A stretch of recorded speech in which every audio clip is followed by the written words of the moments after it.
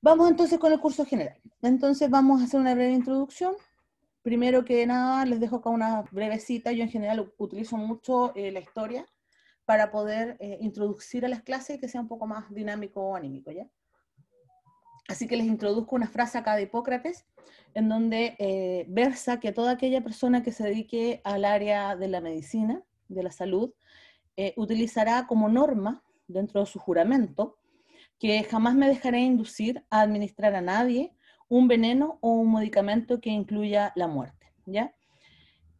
Esto que está aquí es parte del eh, juramento inicial de Hipócrates y hace referencia entonces a que el personal de salud siempre debe velar por eh, cuidar la vida, protegerla, salvarla y utilizar todas las herramientas dentro del conocimiento que permitan en el fondo alejar al paciente, al sujeto de la muerte. ¿ya?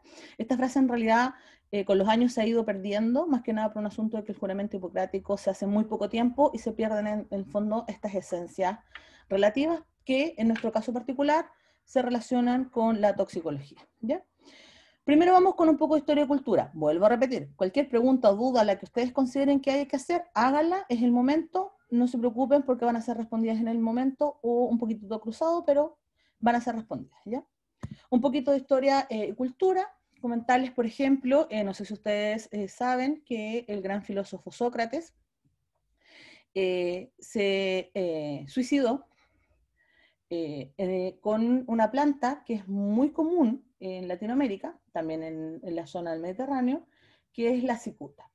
Se dice que eh, en, este, en, estricto rigor fue un homicidio, ya que se le indujo al suicidio. ¿ya? ¿Cuál es lo, lo, interesante de esto? Ustedes miran la planta ahí al frente, ya que ustedes tienen ahí, y probablemente ustedes en el campo la han visto más de una vez. ¿ya? Esta planta basta con que uno se coma uno de los ramilletes y este sea ingerido de manera eh, adecuada por el tracto gastrointestinal para que entonces sucumba la muerte de la persona, ¿ya? Por lo tanto, la idea de empezar con esto fue eh, mencionarles que nosotros estamos rodeados de agentes o compuestos que son tóxicos y que estos agentes en el fondo nosotros tenemos que convivir con ellos, ¿ya? Todo agente externo a nuestro organismo que produce algún tipo de reacción a nivel del metabolismo, de la fisiología, va a ser conocido como eh, xenobiótico. Si el xenobiótico a una dosis tal produce malestar o molestia o muerte en la persona, entonces se lo va a considerar un tóxico.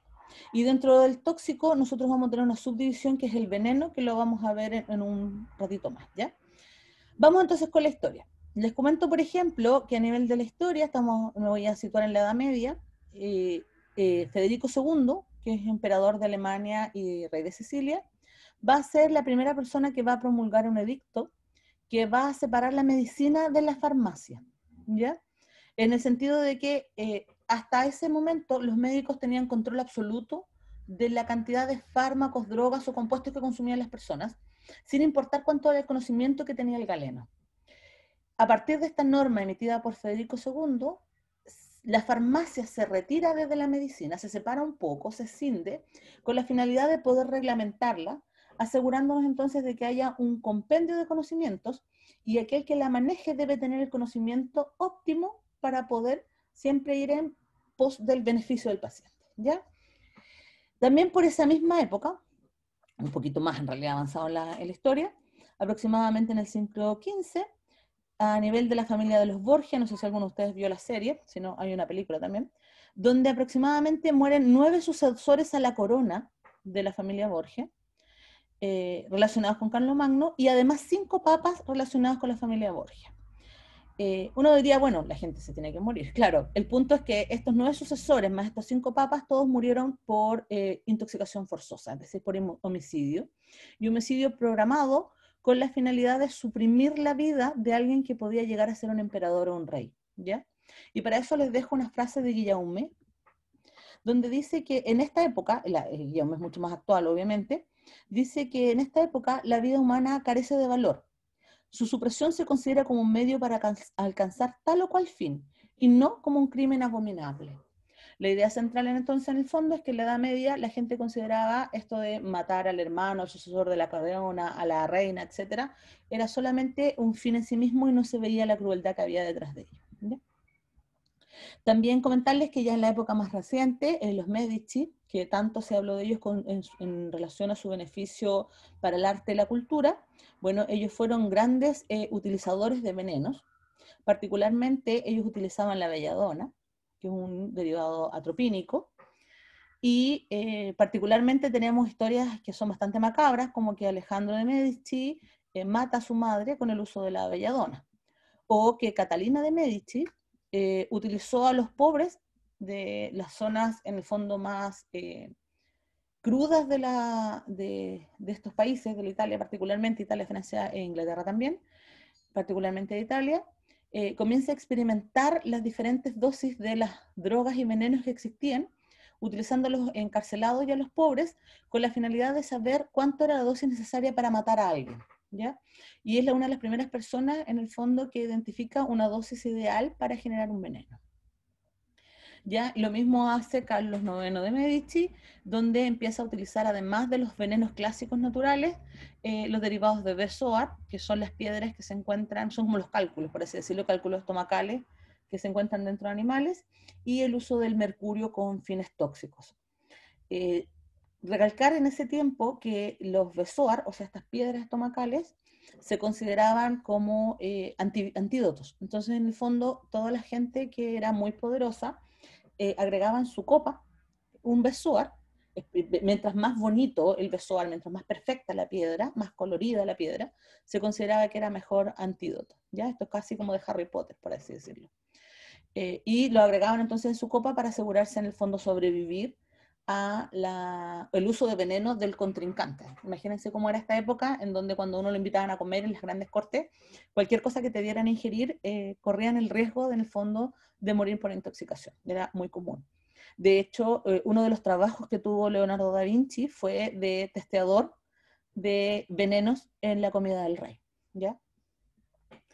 Entonces ahí eh, voy a avanzar un poco más. Vamos a hablar entonces de Paracelso médico también, donde él acuña una frase que a mí me encanta, que yo normalmente en mis clases de farmacología las parto con esta frase, que es dosis sola facit venenum. Esa frase dice, en el fondo, ¿hay algo que no sea un veneno? En el fondo, todo lo que nos rodea es un veneno y no hay nada que no lo sea, que no sea tóxico. Y solamente la dosis va a determinar que una cosa se convierta en algo útil o que sea algo mortal. ¿Ya?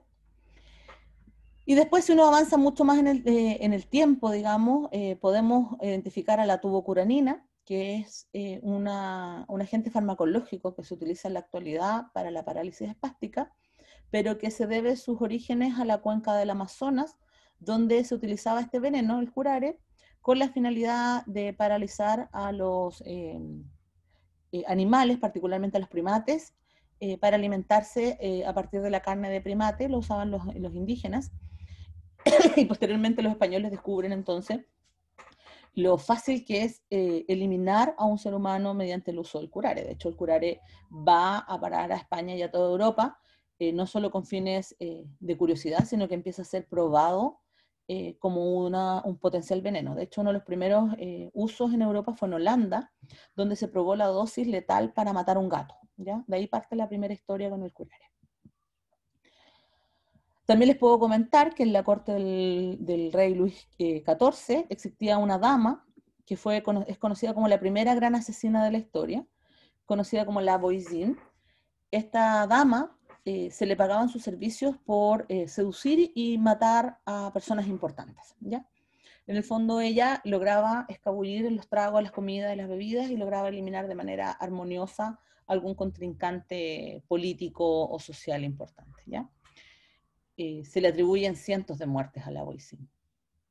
Finalmente, también comentarles que tenemos eh, a alguien que ya un poco más elaborado del conocimiento, que es el conde Hipólito de Ocalmé, quien utilizó la nicotina para eliminar a un eh, hermano y a un cuñado, y descubrió que la nicotina, es decir, el tabaco, a ciertas dosis y extraído de manera adecuada, podía entonces eliminar a una persona. Y esta era una forma mucho más sutil de eliminar a alguien. ¿ya?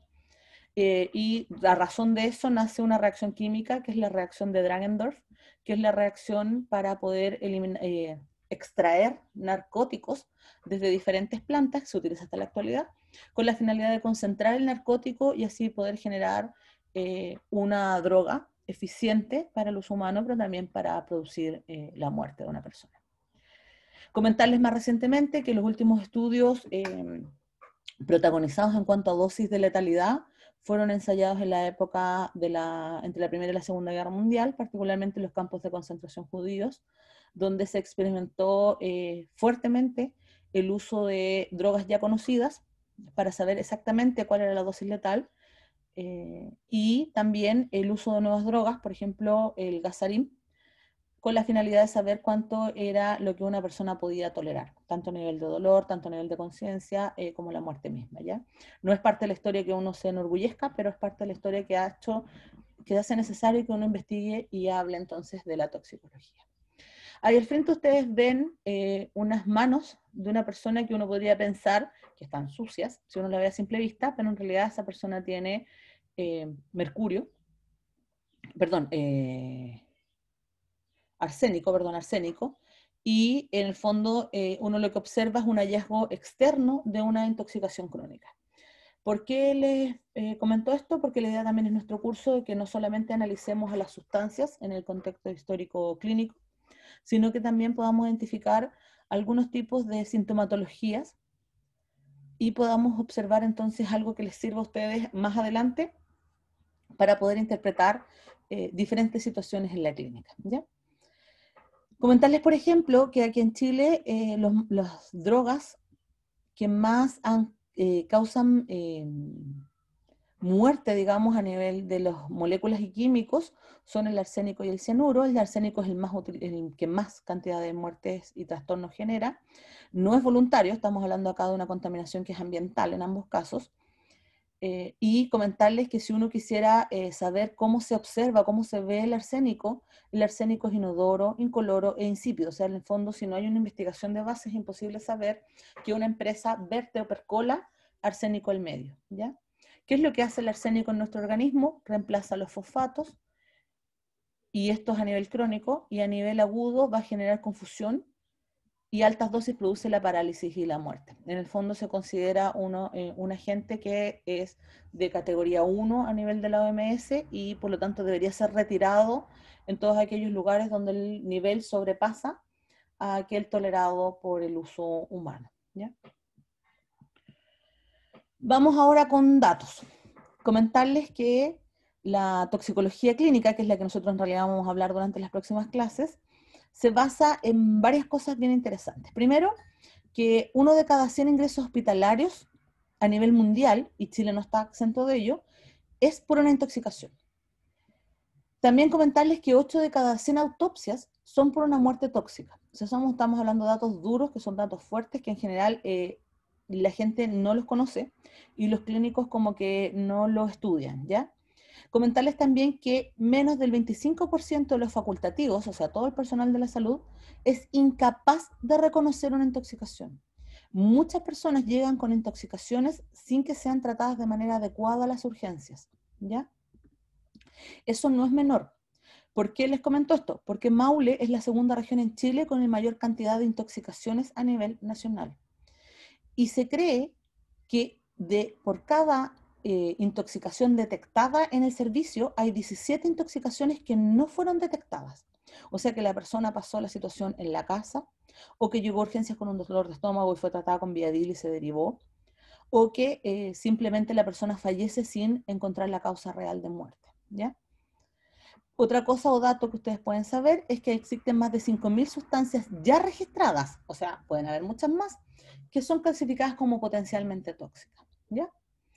Otra cosa que ustedes eh, también deben manejar es que en Chile, si bien el, Instituto, eh, perdón, el EPI-Vigilancia, o sea, a nivel del Ministerio de Salud, EPI-Vigilancia es el encargado de analizar las muestras toxicológicas en Chile.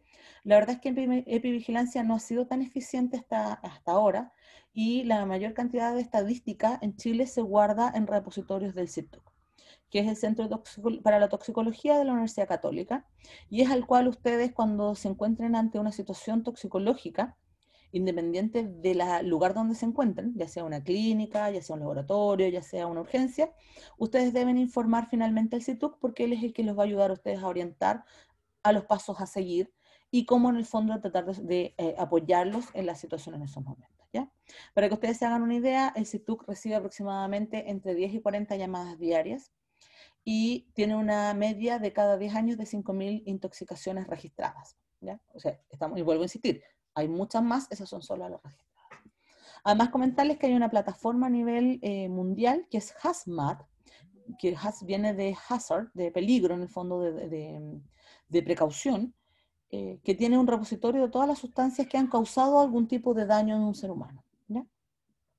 También comentarles que acá nosotros tenemos eh, una página, la que está aquí, que es ToxMed, que ustedes pueden ahí entrar si quieren, ToxMed es bien interesante porque ToxMed ustedes pueden poner el agente que a ustedes se les ocurra que ustedes pueden pensar que es tóxico.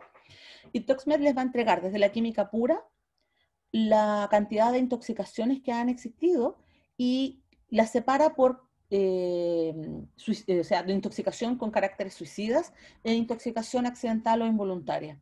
Y eso les puede entregar a nivel clínico eh, la información de cuánta dosis puede causar uno de los dos efectos, una de las dos áreas, y cómo prevenir o detectar sintomatología relacionada con esta sustancia. Ahí yo les puse el diazepam como ejemplo, ¿ya? Pero pueden buscar mucho más. ¿Qué otras cosas les puedo comentar a nivel de datos? Que en Chile eh, la mayor cantidad de pacientes que sufren intoxicaciones son menores de 5 años, encontrándose dentro de este porcentaje que el 70% son niños en edad de curiosidad. Estamos hablando de niños entre 3 y 4 años, ¿ya? Y eh, le siguen las adolescencias o el joven temprano, y disminuyen claramente hacia el adulto mayor, ya que las únicas intoxicaciones que se detectan en Chile en adulto mayor es por la sobremedicación, más que por la voluntariedad del paciente, ¿ya? Más, en general es por, más por error clínico que por error personal. En Chile también, eh, casi el 80% de las intoxicaciones son de causa no intencional y solo tenemos un 16% de causas intencionales o causas suicidas. ¿ya? También ahí tenemos las causas eh, donde en el fondo la persona busca emociones, o por ejemplo, aumento la dosis de una droga, etc.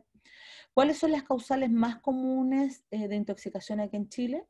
Tenemos los, productos domésticos, estamos hablando del cloro, el POE para limpiar el piso, la pasta de dientes, la crema para la cara, etc.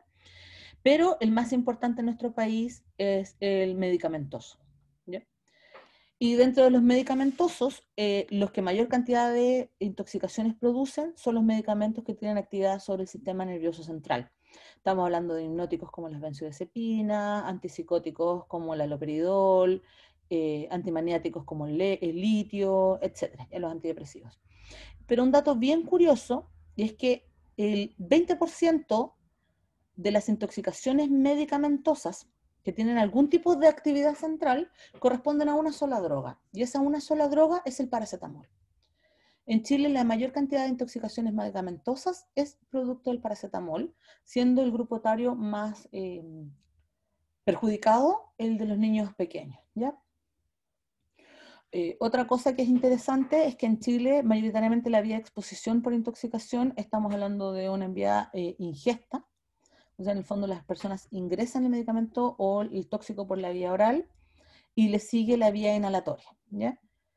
Y comentarles, como les había dicho, que a nivel de rango de intoxicación, la región del Maule es la segunda que tiene mayor cantidad de intoxicaciones a nivel país, seguiditos por la eh, región de O'Higgins. Y aquí yo me voy a, hacer un, me voy a detener. ¿Por qué creen ustedes que la región del Maule tiene un índice o una tasa tan alta de intoxicaciones? Recuerden que estas son las registradas, o sea que el índice es muchísimo más alto. ¿Alguien me quiere responder? ¿Alguien se atreve? Aquí tenemos una respuesta. Y vamos aquí. Por la agricultura. Efectivamente, la tasa de intoxicación aquí en Talca está relacionada directamente por el uso de agentes eh, herbicidas, eh, particularmente órganos fosforados, y es, a eso se debe nuestra alta tasa de intoxicación mayoritariamente, ¿ya? Para que ustedes sepan, en el año 99 se creó un decreto con fuerza de ley que prohibía el uso de órganos fosforados que producían intoxicaciones eh, agudas. Dentro de ellos se prohibió el uso de paracuat y paratión, eh, exigiendo que todas las regiones tenían que estar libres de paracuat y paratión aproximadamente o como máximo el año 2003. Además, el, año, el mismo año 2003, Chile se adhirió a un tratado internacional con Canadá, que se llama Tratado de Quebec, en donde informa que toda aquella sustancia que pueda producir letalidad o riesgo para las personas va a ser eliminada completamente del país. De hecho, se eliminaron eh, los agentes que producían daño a la capa de ozono, se eliminaron eh, algunos órganos clorados, algunos órganos fosforados, etc. Si ustedes ven las noticias el día de hoy, a 20 años de promulgada la ley, a 17 años de generado el Tratado de Quebec, y alguien, yo les pregunto a alguien si todavía se vierte arsénico en Chile, la respuesta es sí, por desgracia sí. Si yo les pregunto si ustedes saben si en Chile todavía se vierten fosfatos o sulfatos eh, con actividad, eh, o sea, relacionados al cloruro, la respuesta es sí, en las mineras. órganos mercuriales, sí, en las salmoneras. Eh, en nuestra región, yo no sé si ustedes saben, pero el año pasado se hizo un análisis de la orina de los niños de San Clemente, los niños escolares que no tenían actividad sobre la agricultura, pero eran hijos de agricultores o estaban cercanos a los grandes predios de agricultura. Y se analizó la presencia de órganos fosforados y los niños, casi el 70% de estos niños de zonas rurales, dieron positivo para paratión. El paratión es neurotóxico y es mortal. Y estos niños en el año 2019 dieron positivo para paratión. El paratión no se acumula muy bien en los tejidos, o sea que si los chicos llegaron a, eliminarlo por la orina en grandes dosis, significa que la exposición es permanente, es constante, es crónica. ¿ya? Nosotros el año pasado nos adjudicamos un proyecto eh, FIC Maule con gente de la, eh, de la Escuela de Ingeniería Mecánica para analizar los fluidos de los vertidos en nuestra zona cuenca maulina y en particular en la gente que se veía expuesta directamente a los órganos fosforados, porque a nosotros no nos calza que la gente eh, diga, que, o sea, que las grandes empresas digan que no utilizan órganos fosforados, pero sin embargo cuando uno hace un análisis de cuenca, nos encontramos mínimamente con el diazón, que es un agente menos tóxico, pero sí nos encontramos con paracuat y paratión que están prohibidos a nivel eh, casi mundial. Entonces significa que las empresas lo siguen utilizando, a pesar de que la norma dice que no se debe usar, ¿ya? Entonces, para que ustedes entiendan que esto es una realidad que es más grande de lo que uno cree o de lo que en realidad se habla y que, por cierto, hay intereses políticos detrás. Sigamos entonces con el curso. Nosotros estamos aquí, estamos en la toxicología. La toxicología engloba todos los conocimientos eh, básicos de la medicina, biología, bioquímica, fisiología, patología, etc. Pero además se une a la medicina legal, que probablemente ustedes las van a tener algunos eh, semestres más, y la toxicología eh, se deriva en cuatro grandes áreas. La mecanística, que trata de explicar en el fondo cómo está ocurriendo la acción tóxica. La analítica, que se basa en el análisis eh, de laboratorio, mayoritariamente a nivel de HPLC y resonancias, de la presencia de los compuestos. A nivel de la evaluación, que aquí es donde ya entran los clínicos. Y a nivel de la docencia, que es donde estamos nosotros, ¿ya? que es aprender. Dentro de la evaluación toxicológica, eh, unido a los laboratorios tenemos lo que es la toxicología clínica, que es la gracia de este curso, y que se centra en el estudio de la medicina forense y las condiciones farmacéuticas que llevan a una intoxicación. Nosotros no vamos a hablar de la intoxicación alimentaria, porque no es del ámbito directo de la medicina, pero sí muy importante en ingeniería y nutrición. No vamos a hablar de la intoxicación ambiental porque no nos da el tiempo tampoco, pero esto también está relacionado directamente con nuestros conocimientos. ¿ya? Solo a modo de eh, resumen, comentarles que probablemente ustedes muchas veces han visto estos cartelitos, estos letreritos que son indicadores o señaléticas de daño o peligro de una sustancia química. ¿Ya? Son muchos más, yo ahí les puse algunos ejemplos. Y eh, comentarles que cuando uno los ve, normalmente uno no los sabe leer, no los sabe interpretar. Pero sí uno tiene cosas que son súper claras, que cuando uno ve esta, esta calavera tipo pirata, uno dice, ah, esto, esto me produce daño, esto me va a producir eh, una, situación importante a nivel eh, del sujeto y a nivel clínico. Bueno, comentarles que eh, uno debería poder interpretar estos símbolos incluso ya desde la adolescencia para poder mantenernos alejados en el fondo de estos compuestos. Y comentarles también que muchas sustancias comparten eh, más de una categorización dentro de la química. Por ejemplo, si uno se va, eh, qué sé yo, a los eh, alcoholes, nosotros tenemos los alcoholes aquí, son extremadamente inflamables, algunos alcoholes, además, son extremadamente tóxicos. Ninguno de ustedes tomaría metanol, por ejemplo. Y que además, cuando son vertidos a la naturaleza, son extremadamente peligrosos para el medio ambiente. Se cree que un litro de metanol es capaz de eliminar aproximadamente 10, eh, 10 hectáreas, eh, o sea, perdón, 10 metros cúbicos de agua eh, y toda la fauna que hay inserta en ellos. ¿ya? Además de eso, probablemente ustedes han visto eh, en camiones o en algunos eh, centros químicos una clasificación que es la clasificación de riesgo, donde aparecen estos números. Aparece un 0, un 1, un 2 o un 3, ¿ya? Y aparece el logo entonces de la actividad tóxica o la actividad dañina, ¿ya? Eh, ¿Qué significan el número? Los números 0 significa que no produce daño, 1 que es poco peligroso, Dos, que es peligroso en ciertas condiciones, por ejemplo, en la inflamabilidad, que se inflama a menos de 90 grados Celsius, 93 grados Celsius.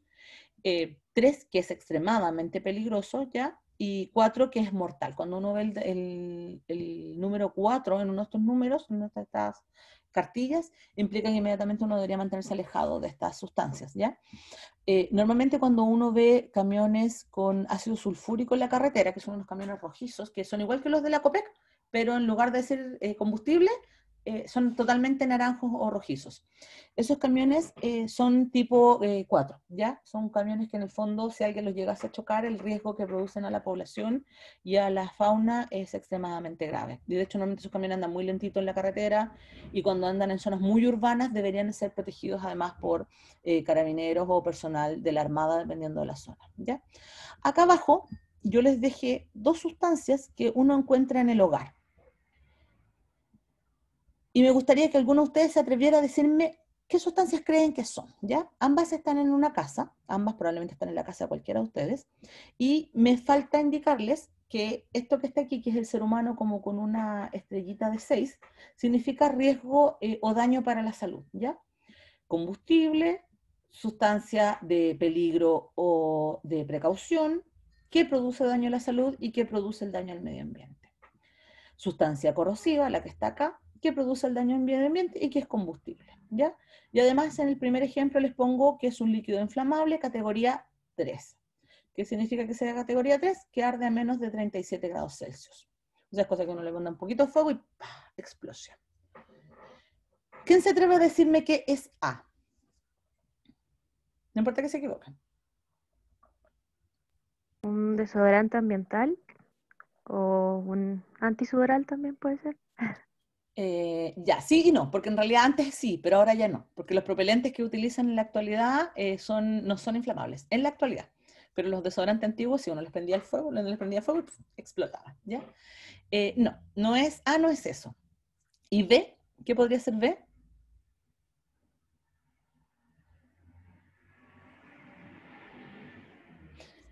Piensen en A, los que están pensando en A, piensen que es arde a menos de 37 grados Celsius. ¿Qué cosa nosotros tenemos en el hogar que si uno le prende fuego, literalmente explota? Ya, ahí me dicen podría ser la parafina. Sí. A, efectivamente, A es un derivado del diésel. Cualquier derivado del diésel. La benzina, el petróleo, la parafina, eh, las ceras, eh, etc. Para que ustedes se hagan una idea entonces de la clasificación del derivado del petróleo. ¿ya? Y B, ¿Qué es B? Felicitaciones, por cierto, al compañero. Compañero, compañera. Era compañera. ¿Qué es B? ¿Qué se les ocurre a ustedes que podría ser B? Ya, B no es, no es, inflamable, pero no es explosivo. Así como que en el fondo para prenderlo necesita un poquito más de calor, necesita un poco más de apoyo. Pero si yo lo advierto a la naturaleza, es tóxico al medio ambiente. Y si queda mucho tiempo en contacto con las sustancias, con las superficies o con nuestra piel, nos va a producir daño en la piel. Cloro, ¿ya? Sí, en realidad no es cloro, es un amonio cloro. es un compuesto común y corriente utilizado para el piso. De hecho, es un derivado de estos lisoform para pisos. ¿Ya? Eh, efectivamente, eso es. Es un derivado cloruro y es un derivado amoníaco. ¿Ya? Para que ustedes vean entonces en el fondo a nivel toxicológico cómo leemos ahora nosotros la información. Nosotros no nos vamos a torturar con esto por si acaso, no le idea que se lo aprendan de memoria, sino que aprendan. ¿Ya? A nivel de concepto básico, para que vayamos eh, comprendiendo, vamos a acuñar ciertos términos de aquí en adelante en el curso. Uno de ellos es antídoto, que yo creo que todos ustedes tienen la noción de lo que es un antídoto, y es que es una sustancia que es capaz de contrarrestar de manera eh, directa sobre un tóxico o un veneno, o de manera indirecta promoviendo alguna actividad fisiológica, de manera que haya recuperación del daño por intoxicación. La toxicología, bueno, ya la conversamos y yo les comentaba que dentro de la toxicología existe una subárea que es el estudio de los venenos. Y el veneno se diferencia del tóxico común o el tóxico industrial, es que es producido por origen vegetal. Y también, o también se puede obtener de las secreciones de determinados seres vivos. En el fondo es el veneno de la araña del rincón, el veneno de la serpiente. Por cierto, todas las serpientes son venenosas. Existe una tradición súper extraña que dice que las culebras no son venenosas y las serpientes lo son. Todas las serpientes son venenosas y la culebra es un subtipo de serpiente. ¿ya? Lo que pasa es que sus eh, dientes no son capaces de eyectar de manera óptima el veneno para producir daño al ser humano. ¿ya? Dentro de los venenos vamos a tener, por ejemplo, la toxina botulínica, al aceite de ricino, al antrax, al gasarín, a la tetrodotoxina, desde el pez, al mercurio, a la estricnina, etc. ¿ya? Eh, entonces, en el fondo, ¿cómo vamos a definir un... Todo es tóxico, pero ¿cómo definimos dentro de la toxicología lo que tiene origen animal o vegetal? Lo vamos a llamar veneno. Otra cosa que es a nivel de eh, de terminología, vamos a decir que la exposición es la cantidad de xenobiótico que uno detecta en el ambiente, es decir, cuánto yo me expongo como ser vivo al eh, ingerir en el sentido de en un río o en el aire, etcétera, frente a este tóxico. La dosis absorbida es la dosis que yo tomo del medio ambiente y la ingreso dentro de mi organismo, que siempre es mucho, muy inferior a la dosis de exposición. Y la dosis administrada es cuando existe un acto eh, no fortuito, sino que en el fondo es eh, funcional, por ejemplo, la inyección, en donde yo me esfuerzo a administrar por alguna de mis vías farmacológicas eh, la droga, ¿ya? O el compuesto tóxico, ya sea por una inyección, ya sea por la vía oral, etcétera. Y la dosis total es toda la dosis que existe en todas las vías de un organismo, es decir, desde la nariz, boca, hasta la zona fecal. Y en general uno lo que define el tóxico es esta eh, dosis total, ¿ya? Yo les voy a dar un ejemplo acá de un tóxico que mucha gente piensa que no lo es, pero sí lo es, que es el dióxido de carbono. Para que ustedes se hagan una idea, eh, la exposición, nosotros estamos constantemente expuestos al CO2, pero para eso existe un límite que se considera normal o natural o de medio ambiente, y eh, a raíz de este se crean entonces los otros límites. Para que ustedes se hagan una idea, el límite de un volcán es de aproximadamente 4.000 ppm, o sea, extremadamente tóxico. Pero el límite en la naturaleza debería ser siempre inferior a 100 ppm. ppm es parte por millón, ¿ya?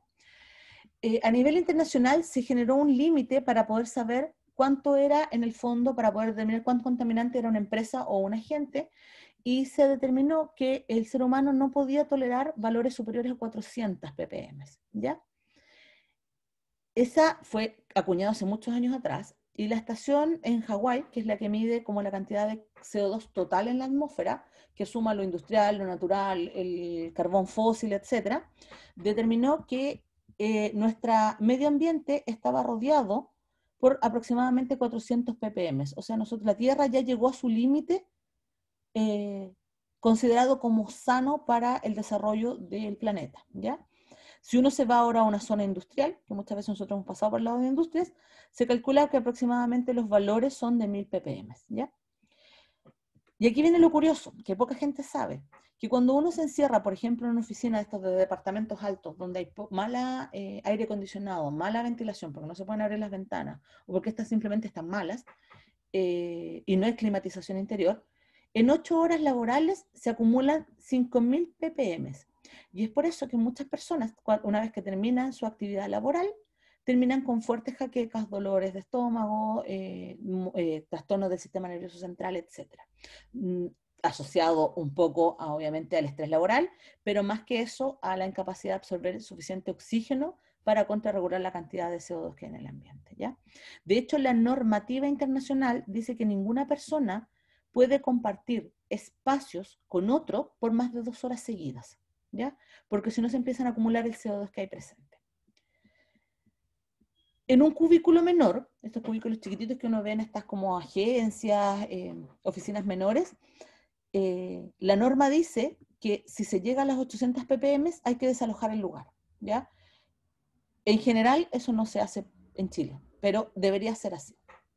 ¿ya? Ahora, acumular 800 ppm en, una, eh, en un cubículo es súper fácil. Dos, tres horas donde trabajen cuatro o cinco personas seguidas eh, se acumula de manera muy común. ¿ya?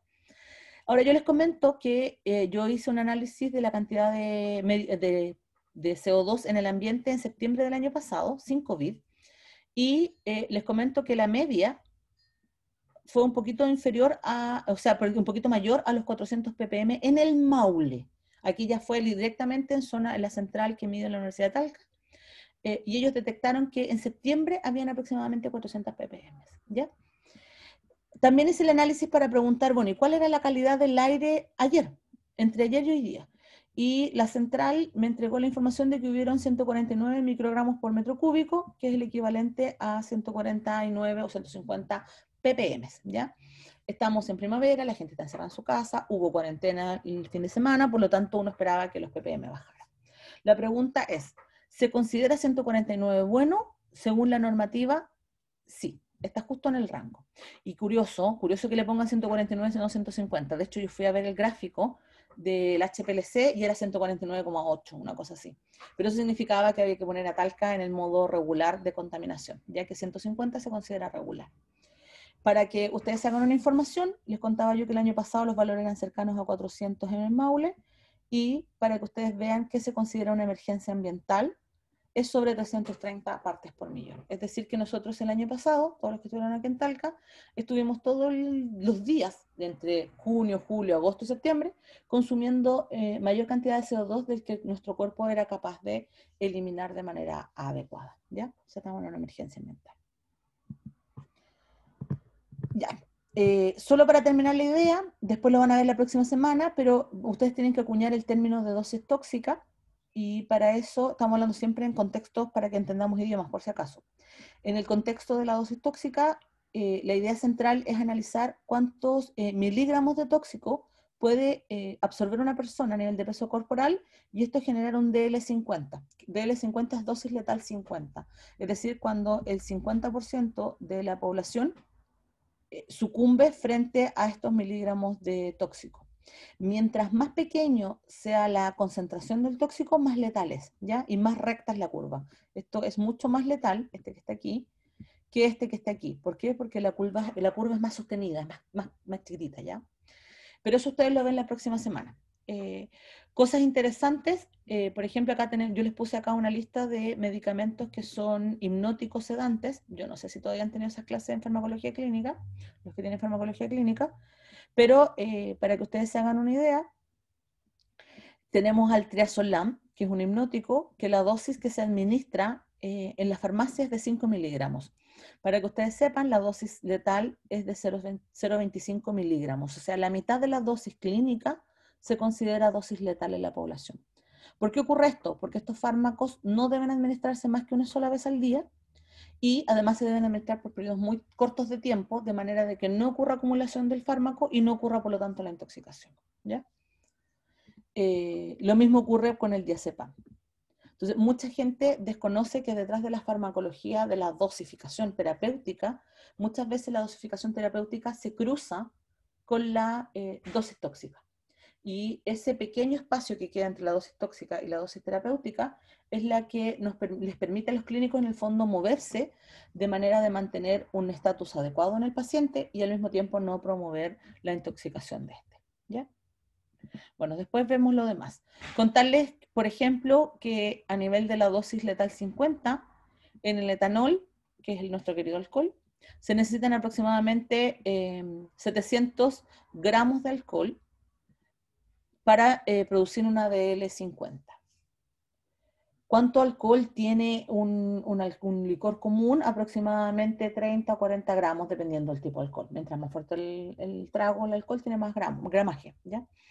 Eh, así que llegar a 700 gramos no es tan ilusorio. O sea, es cosa que uno se consuma 7 whisky seguidos y ya estamos en la DL50. ¿ya? Para que se hagan una idea más o menos. El cloruro de sodio, que es la sal común de mesa, tiene su DL50 en 3.000 miligramos la punta del lápiz Bic, para que ustedes se hagan una idea, contiene 2.000 miligramos, en el sentido estricto de dosis letal, no que uno pese eso y eso produzca en el fondo, eso sean 2.000 miligramos, ¿ya? Por lo tanto, se considera que el cuerpo humano tolera 2.000 miligramos sin problemas, pero que cuando se llega a la concentración de 3.000, esta puede llegar a ser eh, letal en las personas. ¿Cómo se ejemplifica eso en la realidad o en la naturaleza? Si uno se consumiera un frasco de soya, el frasco de soya tiene aproximadamente 10.000 miligramos. Entonces, si una persona consumiera un frasco de soya, lo más probable es que terminaría en urgencia. De hecho, no sé si el cuerpo lo toleraría. ¿ya? Sí, niños pequeños pueden consumirlo. Bueno, también les dejo acá eh, una noticia bien interesante, que es sobre la dosis letal cuando se utiliza con fines eh, para producir eh, la muerte en las cárceles, ¿ya? Para las penas de muerte, en donde ah, la noticia es bien interesante porque a nivel mundial se ha ido eh, evitando el uso de la pena de muerte, producto de que eh, las dosis letales muchas veces acompañan de sintomatología letal. Entonces hay sufrimiento para la persona que eh, está siendo sometida a la dosis letal con fines de juzgado, ¿ya? ahí ustedes leen la noticia y después podemos comentarlo sin problema. ¿ya? Listo. Eh, eso es a nivel de la farmacología general. Chicos, ¿tienen alguna duda o consulta? ¿Me están escuchando? Eh, profe, ¿Me escucho? Sí, súper bien. Eh, cuando habla de la DL50, eh, ¿qué significa el kilogramo que está por debajo de, los miligramos? El kilogramo, eso en la, en la diapositiva. ¿En la medida? Déjame volver a la diapositiva. cuando habla de la DL50. Cuando la, DL50 es la dosis en la cual tú eliminas, es que eso lo van a ver la próxima semana en realidad, pero la DL50 es cuando tú administras una concentración, que puede ser en miligramos, en gramos o en kilogramos, pero por kilogramo de persona, ¿ya? Ah, ya. En fondo, miligramos de droga por kilogramos de persona. Así se administra, ¿ya?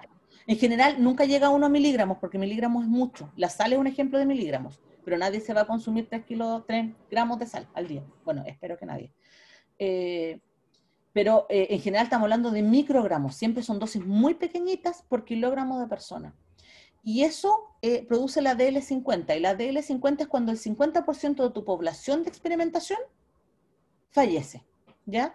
¿Por qué digo de experimentación? Porque no se experimenta con seres humanos en la actualidad. Nosotros estamos bajo un tratado de derechos humanos eh, que está derivado de los juicios de Nuremberg, post Segunda Guerra Mundial, en donde está prohibido el uso de sustancias que produzcan daño directo a la persona. Por eso es que ha habido tanta polémica con el asunto del estallido social el 18 de octubre, producto de que a sabiendas de que habían sustancias que producían daño, y no me refiero a las balas porque eso ya es un tema mucho más grave, me refiero a los líquidos, por ejemplo el famoso zorrillo, estas aguas de, del guanaco, etcétera, tenían dosis que tenían un DL50 estandarizado y conocido, hace más de 10 o 20 años atrás. Y aún así se utilizó en la población. ¿Ya? Y eso significa que se pasaron a llevar los tratados internacionales, eh, el Tratado de Helsinki, que es el Tratado de Derechos Humanos, y eh, los juicios de Nuremberg, que nos obligan a nosotros a responder como país por qué hicimos eso. No sé si me entienden ustedes, porque eso también es toxicología. eso no es política, aunque uno pudiera pensar que la profe piensa que eso fue incorrecto. No, no es que yo lo piense, es que hay un tratado detrás que nos obliga a nosotros a no utilizar este tipo de líquidos sobre la cabeza, sobre el cuerpo. Y cuando ocurrió, no sé si ustedes vieron una noticia de que una persona produjo ampollas por el uso de un líquido en particular. Eh, apenas ocurrió ese caso, eh, como país, nosotros debimos haber detenido todos los tipos de líquidos, eso es lo que debe haber ocurrido, y haberlos mandado a toxicología, análisis toxicológico. ¿ya? Por desgracia, eso no ocurrió, ¿ya? Y se siguieron vertiendo en las personas, en el ambiente, recuerden que también son tóxicos para el ambiente, y que esto llega a alcantarillas, y la alcantarilla llega al mapocho, y el mapocho redistribuye en el fondo en el medio ambiente. Estoy hablando de la situación Santiago, la, situación de Talca fue muy parecido, ¿ya? Eh, y eso también está relacionado con una DL50. O sea, se sabe perfectamente cuánto eh, población de estudio puede llegar a eliminar. ¿Ya, Álvaro? Muchas gracias, profe. Súper. ¿Alguna pregunta alguien más, chicos? La idea es aquí preguntar, como locos nomás, esa es la idea. Profe. Dígame. Eh, el tema de los pesticidas en la agricultura, ¿qué entidad gubernamental debería estar regulando eso y en el fondo no lo está haciendo si si es que está pasando lo que nos estaba contando. O sea, en este rigor, como es un decreto con fuerza de ley, eh, no es que exista un ministerio, esto ya es juzgado. O sea, en el fondo cualquiera de nosotros que inicie un, un análisis pudiese demandar, pudiese demandar a la empresa y pudiese demandar al Estado. ¿Ya? En el caso del Estado, si tú me dices, bueno, ¿y quién es el responsable en el Estado? Depende de dónde tú encuentras la fuente toxicológica. Si la encuentras en la napa subterránea o en la planta, estamos hablando de la parte más del SAC, más, agricultura en el fondo. Porque ellos deberían regular eso de manera directa. De hecho, la página del SAC tiene un listado de todos los tóxicos que fueron vendidos el año pasado. Y no aparece en ninguna parte el paraquat. Entonces, porque no puede aparecer, obviamente, porque es contra la ley. Entonces, ahí queda la duda de, ¿y el SAC hizo bien su trabajo? Porque si él dice que no se vertió para Quad y un análisis toxicológico nacional e internacional, no estamos hablando solo nacionales, dicen que si hay paraquat es porque alguien no hizo su trabajo. No quiero decir que fue el SAC entre comillas, pero esa podría ser una situación, ¿ya? Ahora, si la situación recae en los colegios, estamos hablando del Minedu. Si la situación recae en la salud, o sea, en una urgencia o en una negligencia también, estamos hablando del Ministerio de Salud, ¿ya? Por eso les mencionaba yo, entre comillas, el que, el que debería velar por al menos los datos es epivigilancia. Pero como ustedes ya sabrán, epivigilancia recién este año se dio cuenta de que ellos tenían que hacer mucho trabajo que generalmente quedaba así como en el conteo del Excel, ¿ya? Pero era mucho más profundo. De hecho, en el, trabajo que nosotros estamos desarrollando en nuestro laboratorio, nuestra finalidad es poder hacer, además de todo lo anterior del catastro, poder informar a las urgencias de manera adecuada. Eh, porque en la medida que uno informe, se crea conciencia y la conciencia genera política pública. Esa es nuestra idea, ¿ya? Pero cada no es que los ministerios sean responsables, sino que el gobierno en sí es responsable debido a que es un decreto con fuerza de ley, ¿ya? Chicos, consultas. Profe, ya, perdón. eh, no, y respecto a, lo, a esto mismo, a lo de los órganos fosforados, por ejemplo, yo recuerdo que cuando lo vimos en, en Fisio era bastante grave y era como, como que no, siento que no hay como signos de alerta para saber así si a mí me llega un niño, por ejemplo, en pasantía, cuando sea eso, eh, y yo no podría cachar que está intoxicado a menos que ya esté como muy mal, ¿no?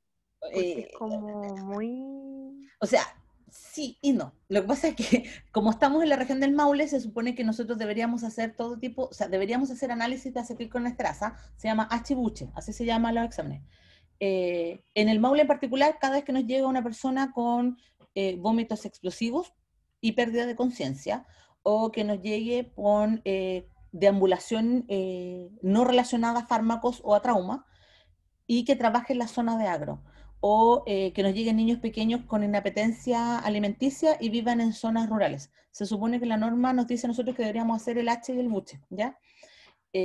No es que no se hagan, es que muchas veces, como dices tú, llega urgencia y, en el tenor de tratar de solucionar el problema, eh, se pasa por alto el origen del problema, ¿ya? Porque si tú a un niño que está vomitando de manera explosiva le das, eh, como te decía yo, Viadil, o le dan eh, loperamida, o le dan, no sé, yo no sé hasta cuándo ustedes han llegado a farmacología, por si acaso, pero le das un fármaco en el fondo para evitar la mesis o para evitar el cólico, tú vas a solucionar el problema y por lo tanto vas a solucionar una situación de urgencia y vas a poder dar el alta de urgencia. Pero al no recabar más allá, al no hacer los exámenes, tú no informas y al no informar, epivigilancia, nuevamente, no sabe que esto existió. Y si no existió, ni el SITU, que el SITU que es mucho más pro, eh, no sabe que existió. Y si no existió, nadie va detrás de la empresa o nadie va detrás del medio ambiente. Por eso es tan importante eh, que estos signos de alarma sean bien estudiados. O sea, no es lo mismo que te llegue un niño con vómitos explosivos y con inapetencia, a que te lleguen 10 niños en 5 días con los mismos síntomas. ¿Ya? No sé si se entiende que en el fondo no es que tú tengas una alarma, es que la alarma la sumas tú mentalmente. a diferente si te llega el tipo ahí con una fibrosis pulmonar y es un trabajador del agro, pues ahí claramente uno dice, no, esto fue, esto claramente fue para cuál, ¿ya? Pero, pero nuevamente, si te llega una persona con una fibrosis pulmonar, con un asma espantoso, con un EPOC eh, espantoso, muchas veces se soluciona el problema en urgencia y nadie manda a hacer una radiografía. Y es cosa que uno haga una radiografía y diga, oh demonios, este esta persona está siendo expuesta y quién sabe cuántos años lleva de exposición. Ahora, también hay un tema que es sociopolítico. ¿Qué sacas tú con informar, salvo que sea grave? Eh, con informar y decir, ¿sabes qué? Estas personas que están trabajando Molina, eh, me ha llegado la última semana, qué sé yo, 30 personas con vómitos. Eh, o dos personas con convulsiones. ¿Qué haces tú con esa información? Porque lo lógico sería que uno informara a las Ceremis, pero las Ceremis se van a rebotar y te van a decir, informe si tú si usted considera que esto es intoxicación. Y si tú consideras que es intoxicación, eh, tienes que llenar un formulario. Y para que ustedes sepan, una vez que uno llena el formulario, el médico tratante se hace responsable del formulario. O sea, después te van a venir a ver si hay una investigación, te van a venir a encuestar, te van a pedir que, que presentes cargos si es que es necesario. Entonces se convierte en algo que es un poco engorroso y a lo que muchos médicos le tienen miedo, porque como no tienen tanto conocimiento, es mejor evitarlo. Ya, no sé si se entiende la idea. Gracias. Ya, no, o sea, la idea de este curso, de hecho, tiene con finalidad que ustedes conozcan más y al conocer más, saben cómo hacer mejor o cómo estar más preparados, ¿ya? Eh, no todo es negro, yo les cuento todo esto para que en el fondo eh, comprendan en, qué estamos, de qué, en qué estamos enfocados, pero no lo vean así como todo negativo. De hecho, hay mucho, mucho, mucho por analizar y mucho por estudiar. Y en toxicología que en Chile estamos muy al debe, demasiado al debe. De hecho, eh, es súper divertido porque muchos epidemiólogos dicen que por el solo hecho de ser epidemiólogos son toxicólogos. Eh, y cuán lejos están de eso, ¿ya? Porque uno puede hacer millones de políticas públicas, o sea, no millones, pero decenas de políticas públicas que vayan pro el paciente o pro el medio ambiente, que hay personas que son pro medio ambiente, eh, y generar estrategias que son de verdad muy buenas, eh, pero para eso necesitamos especialistas. Y desgraciadamente no hay tantos como uno quisiera. Por si por ahí alguien se entusiasma, ¿ya? Si les gusta el, el tema, ¿ya? Ya chicos, ¿alguna otra pregunta para seguir con la siguiente materia? ¿No, si no? ¿Están bien? Están demasiado callados.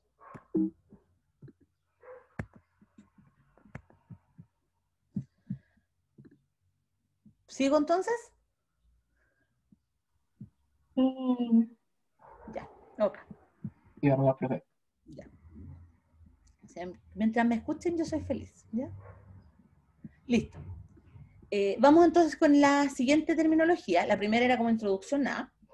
Eh, yo sé que ustedes tuvieron, o los que son del área de medicina, tuvieron eh, farmacología general, por desgracia sin mí el primer año, el primer semestre, pero eh, lo importante aquí es que como tuvieron farmacología general, comprenden lo que es la cinética y la dinámica farmacológica.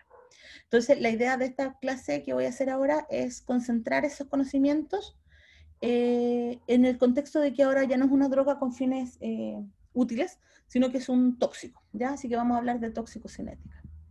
Y para eso hacerles una pequeña eh, como introducción así eh, periodística. Anoche, ah, mientras estaba, quería empezar mi clase, dije ya, voy a buscar, eh, rápidamente voy a poner intoxicación en Google.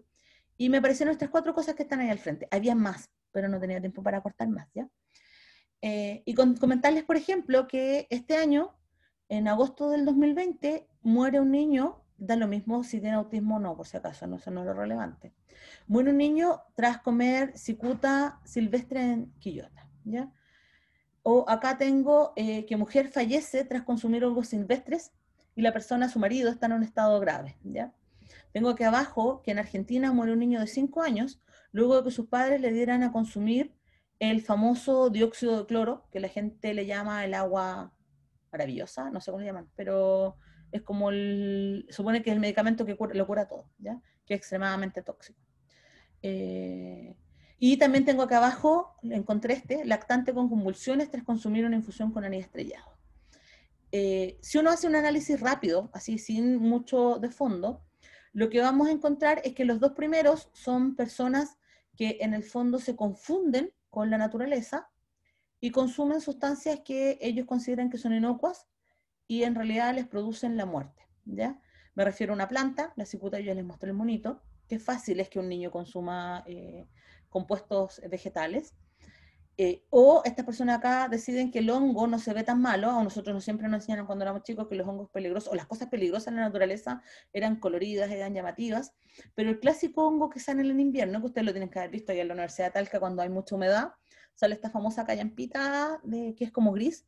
Entonces, uno, se parece mucho al champiñón de, al, al, portobelo, por ejemplo, que son el champiñón eh, comestible.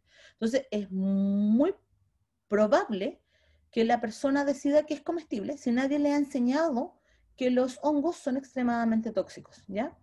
Eh, y por ende, eh, produce la muerte. O sea, en ambos casos fue un consumo voluntario.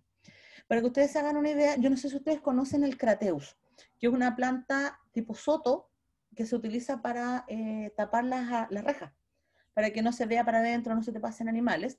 Y el crateus produce unas pequeñas pelotitas redonditas rojitas o amarillas, eh, naranjas, perdón, que la gente le llama los tomatitos. No sé si ustedes las han visto alguna vez. Es súper común en todas partes. Así que, y más de alguna vez a lo mejor jugaron a las guerritas de los tomatitos. ¿Ya? Eh, bueno, yo les cuento que los tomatitos tienen alcaloides y que, bueno, ahí me dicen, yo me comí una cuando chico, mi, hija se comió como 15, casi me morí, pero el punto es que eh, son, tienen alcaloides y el alcaloide es extremadamente eh, como amargo, ácido, y eso hace que uno rápidamente lo rechace por la vía eh, bucal, ¿ya? ¿Ya? El punto es, no sé, no se van a morir, chicos. Eh, o sea, espero que no, no, coman más, por favor. El punto es que el alcaloide que tiene es un derivado atropínico y lo que produce es toda la sintomatología a nivel del sistema nervioso autónomo, como si hubieran consumido en el fondo eh, un análogo de la atropina, ¿ya? La cialorrea, la nistagmo, eh, el dolor, el cólico gastrointestinal, la parálisis urinaria, eh, y a nivel del sistema nervioso central puede llegar a producir alucinaciones. Ahora, no se sabe cuánto es la dosis letal de estos tomatitos, no hay suficientes estudios, ¿por qué? Porque al ser extremadamente ácido, uno se come uno o dos y tu cuerpo inmediatamente te dice, oh, qué asco, no más, no quiero más. Entonces como que uno le prueba el juguito y se acaba pero las mascotas sí pudiesen consumirlo, ¿ya?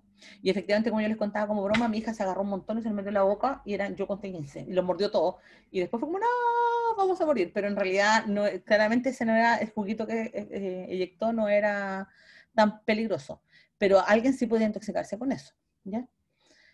Después, los dos que están acá abajo, en cuanto a noticias, eh, si ustedes se fijan, es un niño de 5 años muere por el uso de esta solución milagrosa, MMS se llama, le dice la gente que es como la solución milagrosa contra el COVID, de hecho, eh, que no es nada más ni nada menos que el dióxido de cloro, que se utiliza para el blanqueado de eh, telas, textiles y plásticos en la industria. Y eh, la gente cree que al 35%, Dios mío, eso es muy concentrado, produce eliminación del COVID. ¿ya? y de hecho Bolsonaro lo andaba promoviendo. Bueno, en el, en el, segundo, en los dos casos de abajo, la intoxicación no es provocada de manera accidental por el niño, sino que es eh, forzada, en el fondo el chico no lo va a tomar de manera voluntaria, sino que es forzada eh, por los padres. El que ustedes ven acá, que es el anís estrellado, es una, eh, como una semilla que se vende en las farmacias, ojalá que ya no se venda, que se venden unas bolsitas de dos o tres anís, que se supone que se debe administrar en una mamadera tibia, se le debe dar una o dos estrellitas, y eso produce que se calme el cólico del bebé, y con la calma del cólico el niño entra en letargo. Eh, sí, entra en letargo, porque el anís produce eso, produce letargo. Y por eso es que aquellos eh, pequeños que no tienen una función ventilatoria óptima, simplemente mueren. ¿ya? Eh, el resto de los pequeños se quedan dormidos. Ahora, ¿cuánto es la probabilidad de consumir una dosis tóxica? Es extremadamente alta. Primero, porque los niños pequeños, estamos hablando de lactantes, no tienen formado su, su hígado totalmente, no es maduro, y por lo tanto no pueden metabolizar y eliminar los derivados del anís. Eh, y en segunda instancia, porque estamos hablando de niños que no tienen un sistema inmunológico montado, ¿ya? Y además eh, es muy fácil producir parálisis respiratoria y cardiopulmonar en niños pequeños. Por lo tanto, ninguna sustancia, bajo ningún punto de vista, ni siquiera el agua de la llave, debería ser administrada a un menor de seis meses, ¿ya? Eh, eso sin considerar, como les decía yo, que el anís produce eso, produce letargo y somnolencia en los pequeños. Y todavía se da, y se da mucho, a pesar de que en Chile se muere aproximadamente uno o dos niños, uno o dos lactantes anualmente por el uso del anís. Vamos con la toxicocinética. Eh, entonces vamos a hablar de que la toxicocinética, al igual que la cinética farmacológica, es el estudio de cómo un eh, agente, un xenobiótico, va a entrar al organismo y lo que nuestro organismo le va a hacer a él. Y para eso se va a regir por las mismas reglas que ustedes les tienen que haber explicado en su momento, que nosotros conocemos habitualmente como ADME, ¿cierto? Que es el acrónimo de la farmacocinética, que es absorción, distribución, metabolismo y eliminación.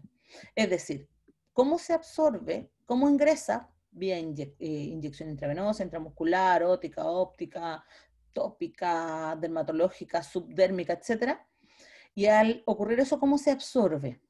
pasiva, activa, por vesícula, mediada por cambios de la ionización, etc. Todo eso ustedes ya lo deberían haber visto.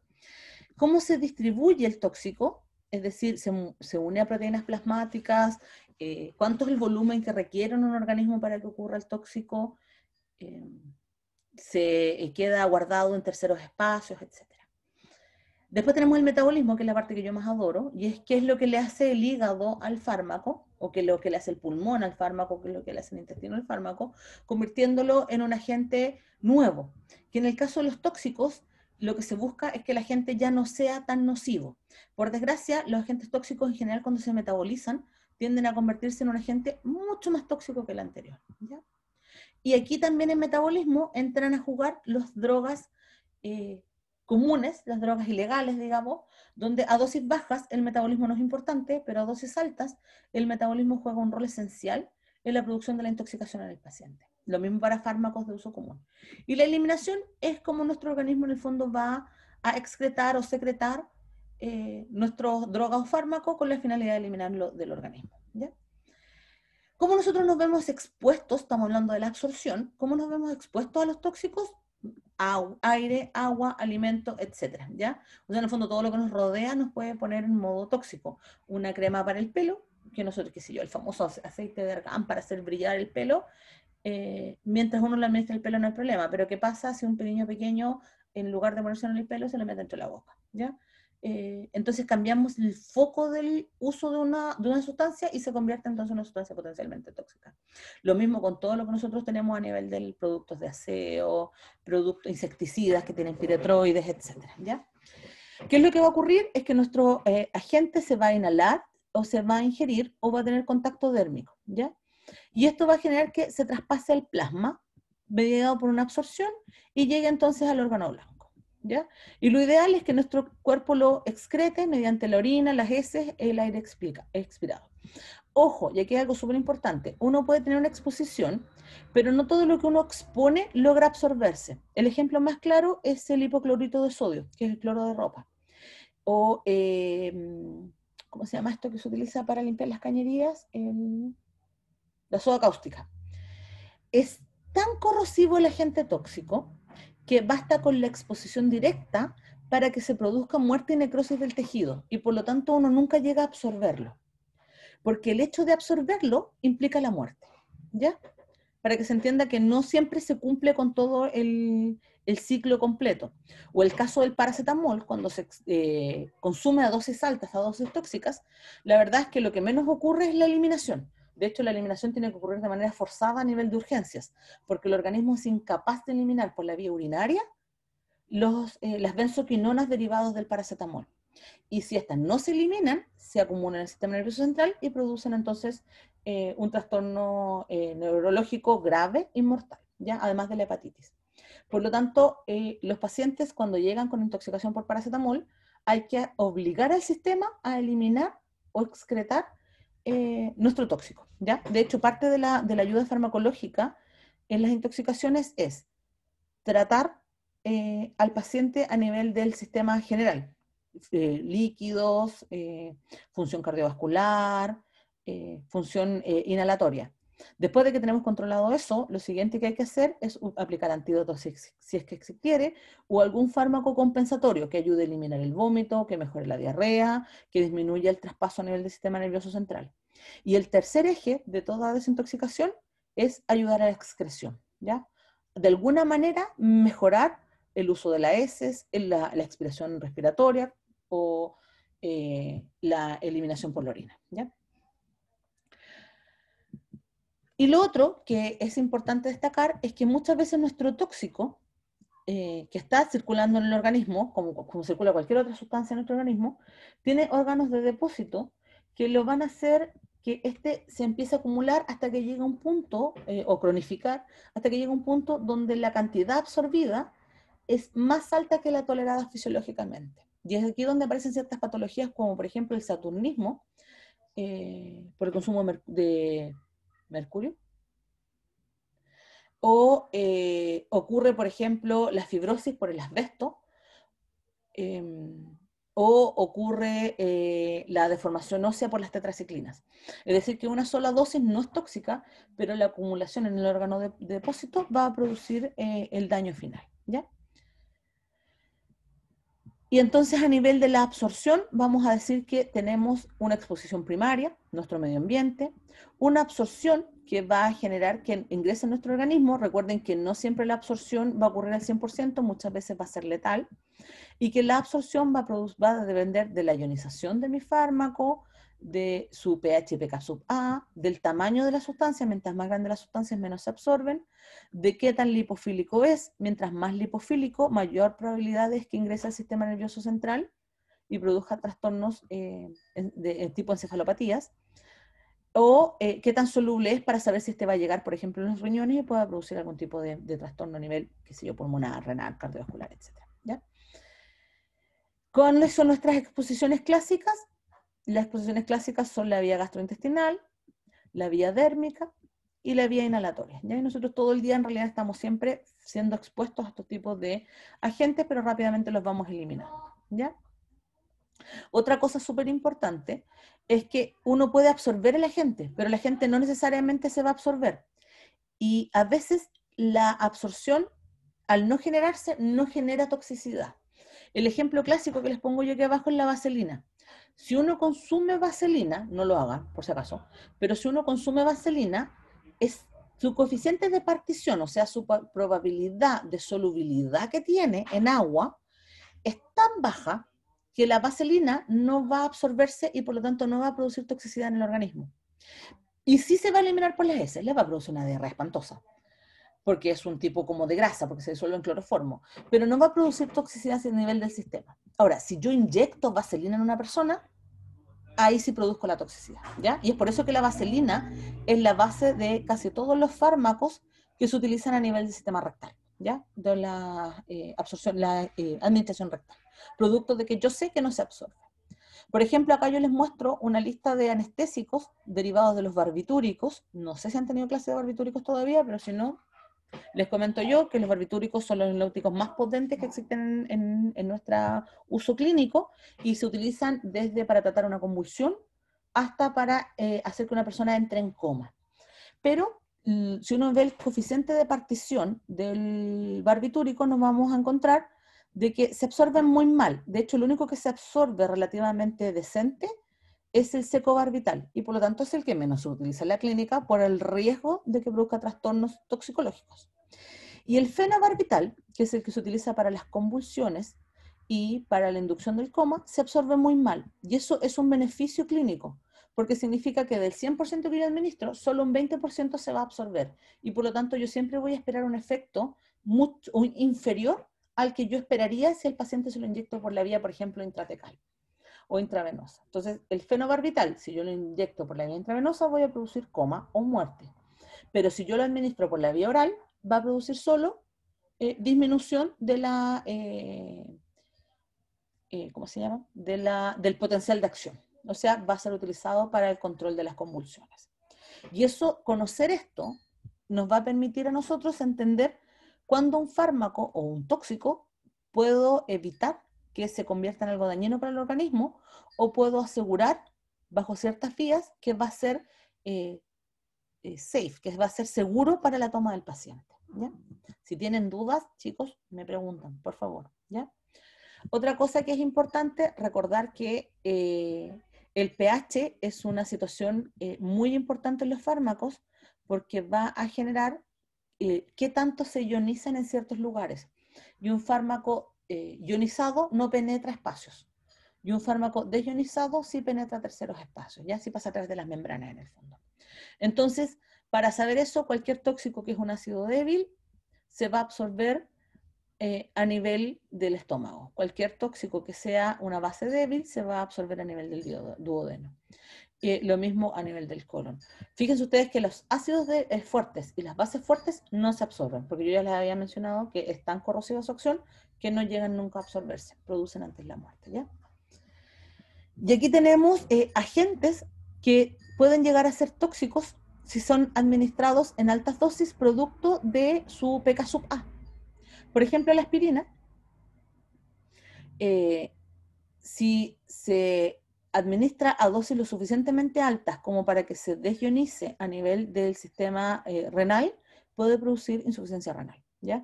Es muy extraño que se utilice la dosis para producir eso, ¿ya? Pero puede ocurrir. Lo mismo puede ocurrir dependiendo de su estructura, con algunas vitaminas, con la glucosa, con el tantal, bueno, el tantal en realidad no se administra, pero con el magnesio se administra, eh, con algunos agentes lipofílicos, etc. ¿ya? O sea, es cosa que uno pille su PK sub A en algún tejido y se administran dosis muy altas para que se produzca eh, el daño a nivel de intoxicación. ¿Ya? Eh, a nivel de la vía digestiva, pensando en la administración digestiva, vamos entonces a decir primero que no todos los tóxicos se van a eh, absorber debido a que a pesar de que uno lo ingiere, no necesariamente se absorbe o se excreta más rápido de lo que se absorbe, que es uno de los beneficios gastrointestinales, pero a su vez otros son tan corrosivos que no alcanzan a llegar a la absorción. ¿ya?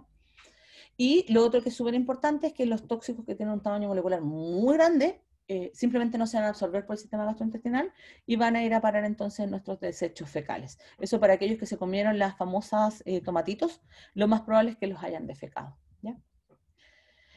Y en relación a eso, vamos a, ver que eh, los compuestos tóxicos van a ser jerarquizados según su grado de toxicidad, ¿ya? En extremadamente tóxicos a relativamente inocuos.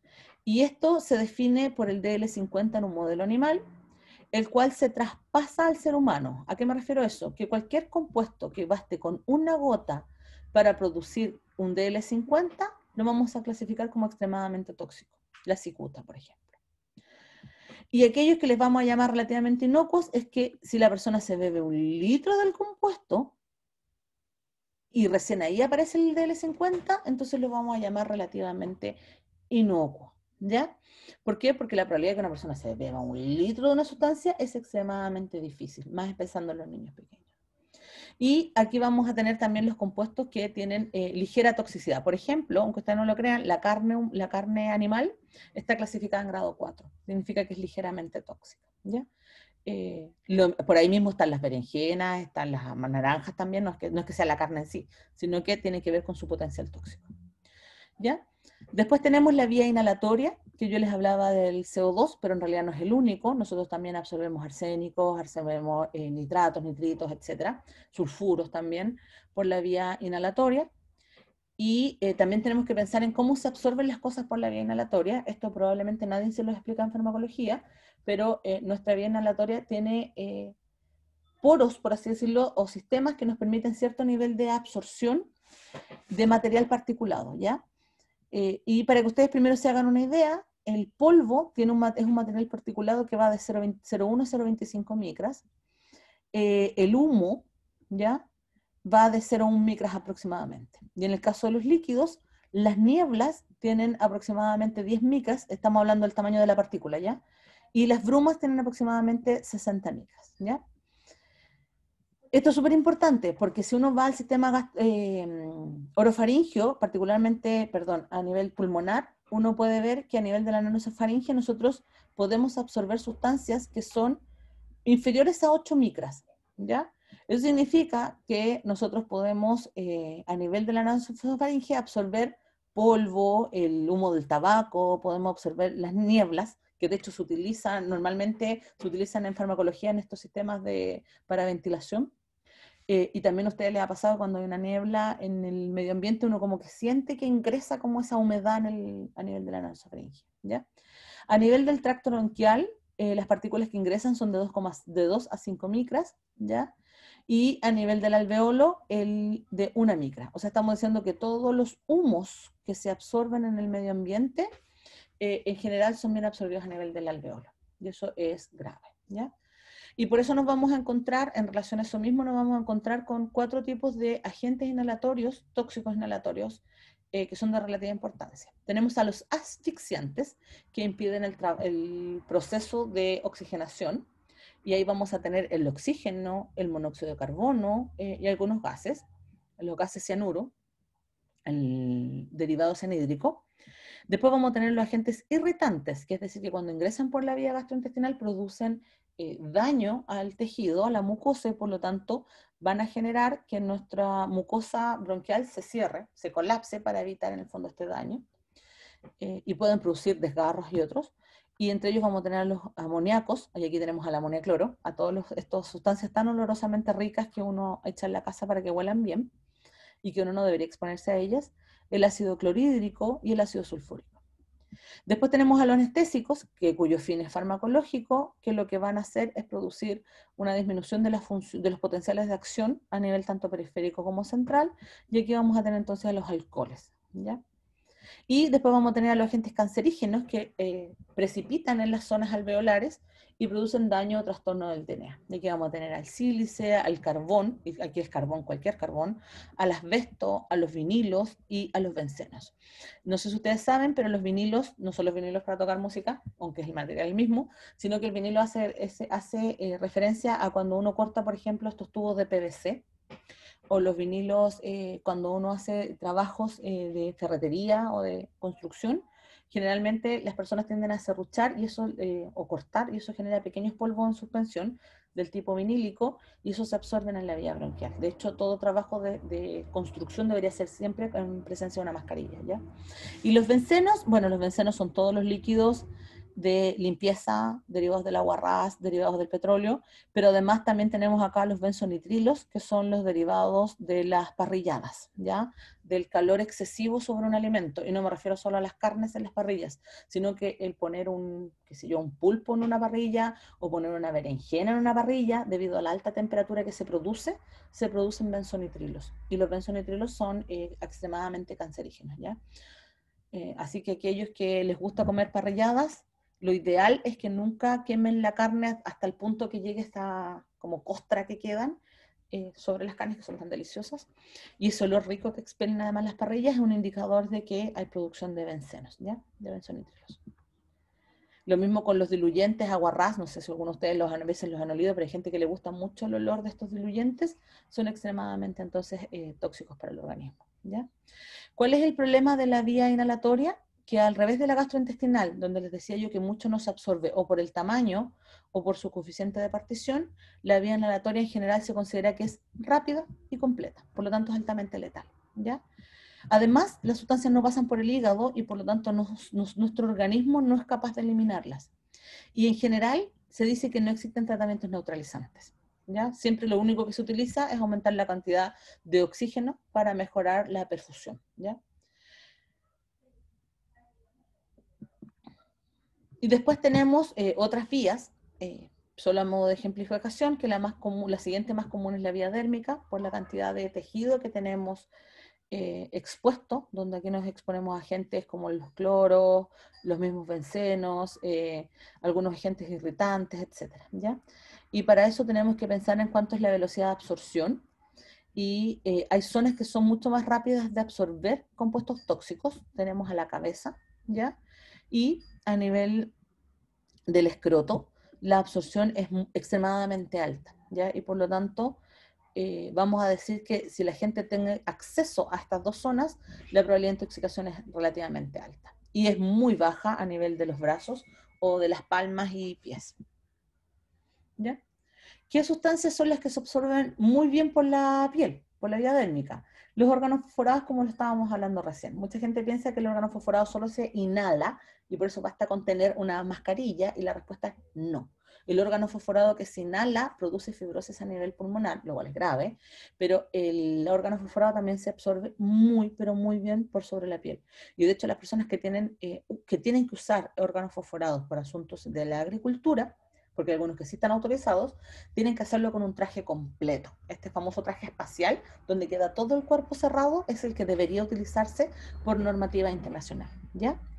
Tenemos los derivados del benceno, no sé, el tolueno, por ejemplo. Tenemos eh, otros tipos de plaguicidas. Tenemos los piretroides que uno administra para el veneno de arañas, de, moscas, etcétera. Eh, se absorben súper bien por la piel, porque de hecho están hechos para ser absorbidos por las eh, membranas de, los, de, los, insectos, ¿ya? También todos los agentes que están relacionados con la industria del papel, con la industria textil, las anilinas, etcétera, ¿ya? Y a nivel, una vez que se absorbe, yo aquí vamos terminando un poco chicos para no aburrirlos más, a nivel de que se absorbe, tenemos que pensar que el compuesto se va a viajar con las proteínas plasmáticas o va a viajar libre, y dependiente de cuánto viaja libre es el nivel de intoxicación que va a tener la persona. Lo mismo a nivel de qué compartimento va a ser guardado. Muchos compuestos se guardan a nivel del tejido adiposo o a nivel del tejido conectivo y óseo, convirtiéndolo en patologías crónicas. ¿A qué me refiero con esto? Que muchas veces la gente dice, oye, pero la gente que está expuesta en el, en el, norte al arsénico no presenta sintomatología. Mi respuesta de vuelta es sí, no presenta sintomatología aguda, pero todos ellos van a presentar sintomatología crónica porque el arsénico se está acumulando, se está cronificando la patología y vamos a tener una pequeña endemia relacionada con el arsénico si no lo solucionamos ahora. O a nivel de ventanas de las, estas plantas de tratamiento de petróleos, misma situación. ¿ya? Solo cuando hay crisis agudas se deja de emitir eh, compuestos eh, inhalables, pero se les olvida pensar que eh, la exposición continua y crónica va a generar también trastorno de daño en los pacientes. ¿ya? A nivel de sitios de elección de los compuestos, vamos a tener, estos son solo ejemplos, ¿ya? Que los órganos fosforados y el monóxido de carbono, el cloroformo, por ejemplo, o los órganos mercuriales, que son los de los pescados, eh, van a tender a atravesar súper bien la barrera hematoencefálica, ¿ya? Así que van a producir eh, trastornos a nivel del sistema nervioso central. Tenemos agentes que tienden a atravesar muy bien la placenta. Por ejemplo, el plomo, que antiguamente se utilizaba para eh, las pinturas, para disolver pinturas, o los alcoholes, cualquier tipo de alcohol. Hay algunos que atraviesan la melanina del ojo y que son los compuestos aromáticos, ¿ya? Bencenos en el fondo. Otros que se guardan y quedan muy bien en las grasas. Es lo que les mencionaba yo, que no a bajas dosis de un insecticida no debería acumularse en el organismo, pero estos niños que presentaban eh, paracuat y paratión en la orina, significaba que ellos habían logrado guardarlo en sus tejidos, o sea que la exposición era muy alta. ¿Cuál es el tejido de preferencia? El tejido graso, ¿ya? Ahí es donde se guarda. Y tenemos también aquellos que se acumulan en los huesos y dientes, como las tetraciclinas y muchísimos metales. O el arsénico que se acumula en las uñas y el pelo. Entonces vamos a decir que tenemos agentes que son osteotróficos, ¿ya? es decir, que se acumulan en la piel. Ustedes ahí tienen eh, el daño, esto que está aquí es daño por tetraciclina. Ahí uno puede, inmediatamente cuando uno ve ese tipo de cambio de coloración, uno puede presumir eh, que hay intoxicación por eh, tetraciclinas o hay uso crónico de la tetraciclina. ¿ya? Y también tenemos pérdida de la dentina. En general, la mayoría de los metales alcalinotérreos eh, tienen actividad sobre eh, los sistemas óseos. También las drogas, ¿ya? Las drogas psicoactivas, estamos hablando como la heroína, el éxtasis, etcétera, también producen daño a nivel eh, osteotrófico y producen pérdida de la pieza dental o pérdida de la fuerza de desarrollo óseo con malformación, ¿ya? Aquí tenemos el plomo, donde uno puede ver claramente cómo se acumula el plomo en la eh, unión de la, del, de donde en el fondo ingresa el diente a la zona de la mandíbula. No se me olvidó el nombre de esa parte del cuerpo, perdón. Les pido disculpas, pero se me olvidó. Eh, y finalmente, comentarles que dentro del mismo cinética vamos a tener que el metabolismo, que se supone que genera una situación que es beneficiosa porque elimina las sustancias, pudiese generar eh, también compuestos que son tóxicos, que antes de ser eh, atravesar en el fondo el metabolismo hepático, van a, eh, antes de que atravesaran el metabolismo hepático eran inocuos y después de que pasan por el metabolismo de fase 1, o sea, por el metabolismo de la CIP, van a generar entonces trastornos que pudiesen llegar a ser dañinos o tóxicos.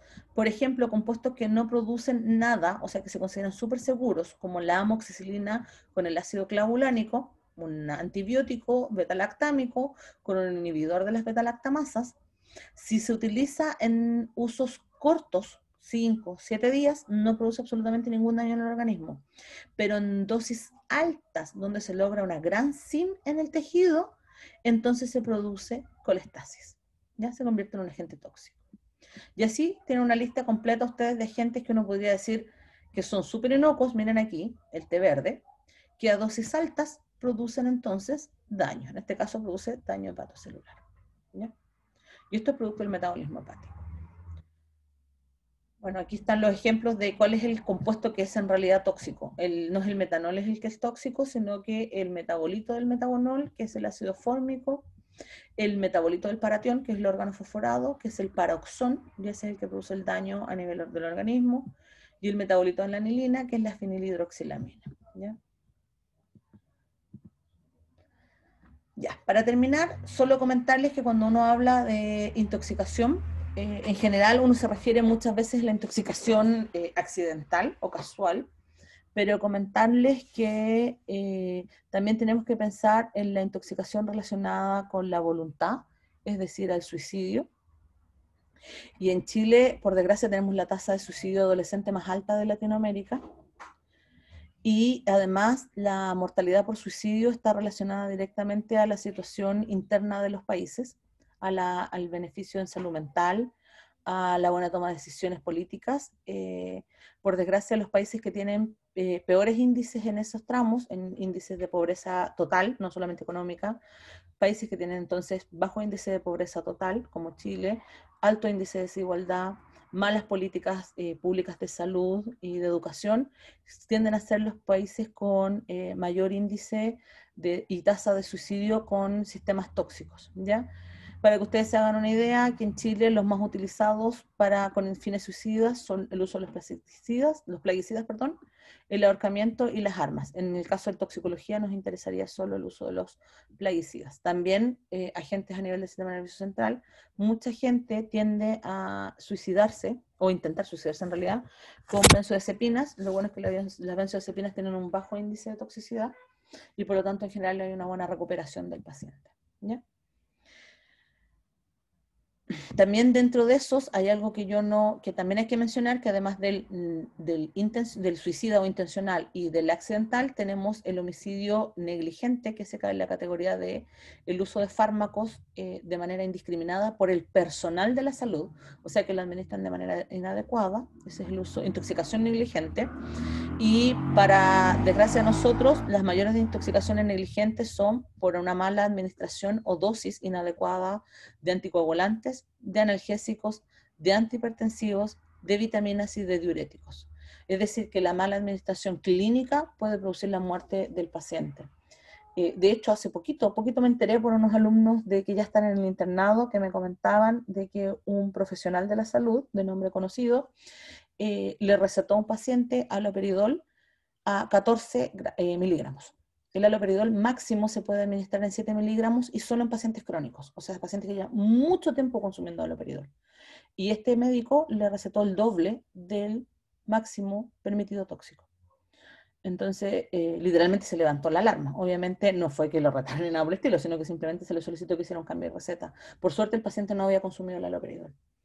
El aloperidol es un antipsicótico, por si acaso. Eh, y eso se considera eh, toxicidad negligente, ¿ya? Bueno, eh, no quiero seguirlos aburriendo más chicos en realidad, pero yo les podría comentar montones de fármacos eh, que tienen eh, un bajo índice terapéutico. Bajo índice terapéutico implica que es muy fácil caer en la intoxicación si no se administran de manera adecuada. Por ejemplo, tenemos acá ejemplos como la quetiapina, la warfarina, que es un anticoagulante, o agentes que están en el medio ambiente, que no son fármacos. Y aquí me voy a tener solo un segundo, que es la ocratoxina. No sé si ustedes han visto, los que tienen parras en el patio o en las casas de la abuelita, eh, que encima de la uva se forma, aquí está, se forman estas cosas que están así, que son como unos honguitos, que son como peluditos y blanditos. Eh, yo cuando chica simplemente elegía las uvas que estaban más buenas, me comía esta uva, por ejemplo. Eh, y estas no me las comía, o las eliminaba. Y a veces por mala suerte me las comía de pajarona que soy, ¿ya? Más de algunos de ustedes les ha pasado. Bueno, algunos de estos eh, honguitos blancos, que son estos que están aquí, que aquí está esto una fuente con poroto, tienen altos índices de ocaratoxina. La ocaratoxina es uno de los agentes de la naturaleza a nivel del hongo, muy tóxicos, de hecho son aspergilosis, ¿ya? Y eh, para que ustedes se hagan una idea, la dosis máxima tolerada es de 120 nanogramos por kilogramo. Es extremadamente poco lo que tolera el ser humano. ¿Ya? Y eh, cualquier compuesto que tenga cierto grado de humedad puede tener ocratoxinas, especialmente cuando uno abre, por ejemplo, ahí les tengo un ejemplo de los cereales, cuando uno abre la caja de cereales y uno la deja, eh, ¿se han fijado que los cereales vienen como una bolsa de aluminio, una bolsa de plástico bien gruesa? Eh, cuando uno las abre y las deja expuestas al medio ambiente, eh, inmediatamente le empiezan a crecer estas aspergilos, ¿ya? Eh, y de hecho, uno, si prueba estos cereales o el pan y lo encuentra que está como no crujiente, como reblandecido, uno inmediatamente tiene que eliminarlo, ya que son extremadamente tóxicos. Y de hecho, el cereal, una vez que uno lo abre, tiene que inmediatamente guardarlo en un frasco cerrado con tapa. No puede utilizar la misma caja, porque el grado de concentración de la, de la es realmente alto. ¿ya? ¿Qué es lo que hace la ocratoxina? Eh, es un inhibidor del sistema del estrés oxidativo en nuestro cuerpo y eh, produce fallos a nivel de la apoptosis y por lo tanto produce necrosis general en nuestro organismo. Y se considera entonces que es nefrotóxica, inmunosupresora, genotóxica, carcinógena, teratogénica y neurotóxica. Y es extremadamente fácil intoxicarse eh, con ellos si uno en el fondo no eh, detecta que está consumiendo estos agentes de manera eh, involuntaria. Si uno ve un pan con pelitos, normalmente no lo bota, pero hay gente que le corta el pedacito malo y después se come el pedazo bueno. Bueno, cuando ustedes cortan el pedazo malo, los aspergilos vuelan por el, por el aire y pudiesen volver a caer sobre la misma superficie y pudiese uno contaminarse. ¿ya? ¿Cuál es el cuadro clínico? ¿Cómo uno observa la intoxicación por ocratoxina? La persona, si lleva varios días, produce pérdida de, peso, pero se produce rápida poliuria, polidipsia y hemorragia multifocal. ¿ya? Y uno ve, o sea, es observable la, la nefrosis y las necrosis en el paciente.